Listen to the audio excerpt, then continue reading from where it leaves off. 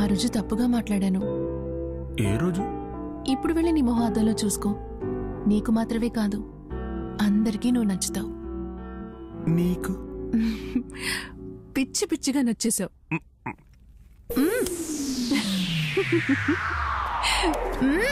Mm.